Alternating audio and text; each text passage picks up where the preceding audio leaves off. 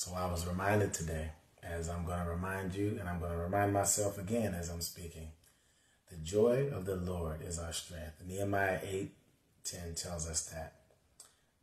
The, the joy of the Lord is a powerful way to obey God. It is a powerful defense and is a powerful way to confront the sin in our lives and to confront the curses on our lives, obeying the Lord with joy.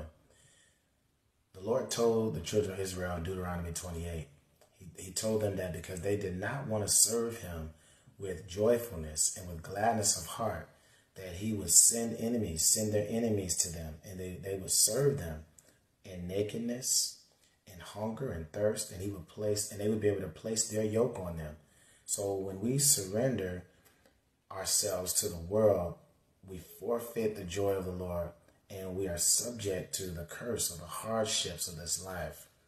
The Bible says that when we are in Christ, we are to think it not strange concerning the fiery trial, which is which is meant to try us, as if something strange happened to us, but rejoice inasmuch as much as we are partakers of Christ's sufferings, that when his glory shall be revealed, we will be glad with an exceeding joy. That is what Jesus is saying. He's saying that we find joy in his presence and we find joy in him as we obey and we serve him with our lives.